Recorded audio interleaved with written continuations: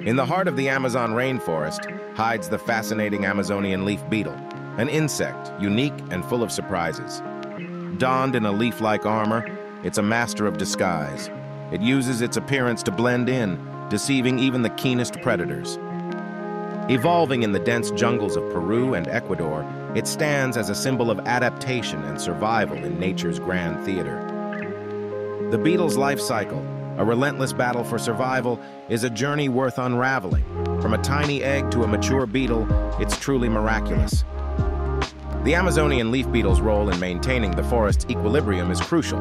It contributes to the health and diversity of the rainforest ecosystem.